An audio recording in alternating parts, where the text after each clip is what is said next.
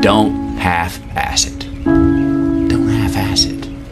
Well, that never goes out of style, does it? I mean, think about it. If you're gonna do something, if you've chosen to do something, whatever it is, easy, hard, if you give it your all and you don't half ass it, win, lose, draw, get what you want, don't get what you want, whatever the outcome is, if you don't half ass it, at least you're not gonna have to wonder, oh, would the outcome have been different?